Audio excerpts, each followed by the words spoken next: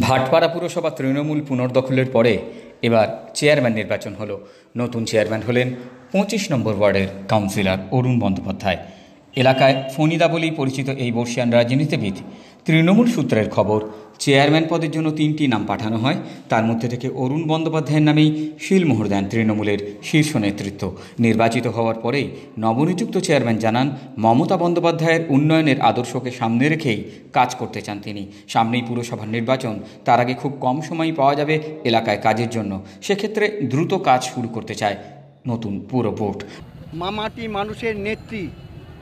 মমতা ব্যানার্জি, যে ভরসা আমার উপরে রেখেছেন, আমি চেষ্টা করব ভাটপাড়া পৌরসভার নাগরিকদের যে পরিষেবা দীর্ঘদিন ধরে পরিষেবা থেকে বঞ্চিত হয়েছে, সেই পরিষেবা আবার সবার ঘরে ঘরে পৌঁছে দেওয়া এবং উন্নয়নের মধ্য দিয়ে গত তেইশ তারিখের পর এলাকায় যে তাণ্ডব হয়েছে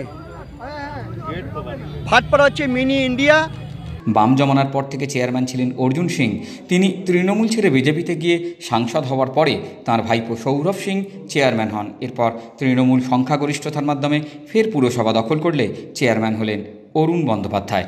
কঠোর নিরাপত্তার মধ্যে এদিন ভোট গ্রহণ হয়। এলাকায় মোতায়েন ছিল পুলিশ বাহিনী। উন্নত নাগরিক সেবা প্রদানে জয়নগর মজিলপুর পুরসভা শহর জুড়ে উন্নয়নের ছোঁয়া।